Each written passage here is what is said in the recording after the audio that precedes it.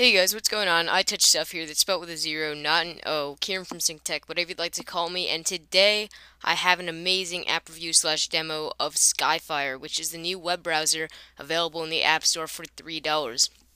So, if you may or may not know, most of you probably will, Safari and Apple, um, well, Apple does not allow web um, or Flash content in the Safari browser. And there have been a couple hacks and stuff um, available in Cydia to tweak that, but those don't really work too well, and they're sort of outdated.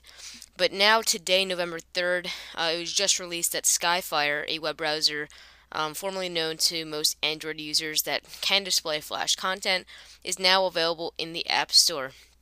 So you can go ahead, go to the App Store, purchase this app, and go crazy with all of your Flash content. So I have Skyfire opened up, well not opened up yet, but here it is. It's opened up. And I'm just going to give you a quick little flash demo. So what this does is down at the bottom right here, there's this little video icon.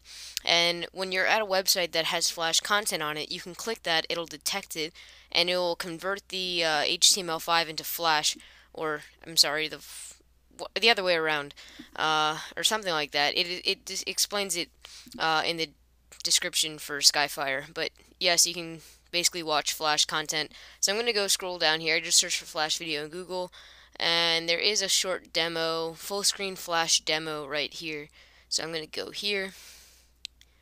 And here we go. You can see it's a little timer or hourglass icon saying that it's loading and trying to detect any Flash content on the site. And there we go. It just popped up and I can just go ahead hit play. And this will depend how fast it'll load based on your internet connection which I have one bar right now and I'm not in a very good area um, at the moment for Wi-Fi. But if you have a really good connection um, it'll load much faster for you. And uh, it also depends on how long the video is and whatnot. So just give it a couple seconds maybe a minute and it'll load up. And if it's too long I'll just cut the video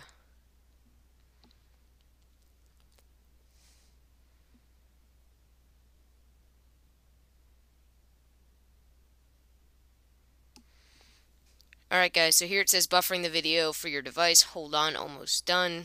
That's a good thing. Here we go. And it has started to play. So guys, Flash content is um, available now for the iPhone, iPod Touch, iPad. Go ahead, download it. It's in the App Store, three bucks. It's called Skyfire Web Browser. Have fun with all of your Flash and everything. And this has been iTouch Stuff here. Please subscribe. Uh, it really does help me out. So go ahead, click the subscribe button above the video, and uh, I'll see you in the next one. Bye.